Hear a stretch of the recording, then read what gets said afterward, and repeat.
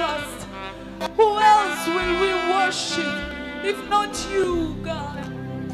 The only one true God you are. The God Almighty you are. You are glorious, God. You are my.